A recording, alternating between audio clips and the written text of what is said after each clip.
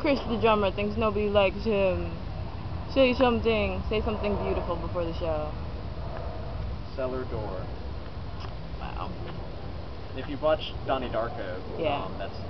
There you go. See, I'm going to explain the joke and be all long-winded, and it's not funny anymore. You can try. Is this your first time playing at the milestone? Yes. What? Are you excited? Yes, about, ma'am. uh, I told How excited? story Pretty excited. about Nate the Um, Snake. It's going to be good bands here, and you know, just That's hope we awesome. do our best, and just a lot of fun, man. I'm probably going to get uh, some clothes taken off. Oh, you're stripping tonight. Dude, if I was you, I would just fucking get down to your shorts first thing. Like when, I- I'm when you get probably your gonna- set, when you're set up. Yeah. Just get naked. Yeah, pretty much. As soon as the set, as soon as the so set goes up, hot. the clothes come off. It's so fucking hot in there. Yeah. What are your thoughts? The show.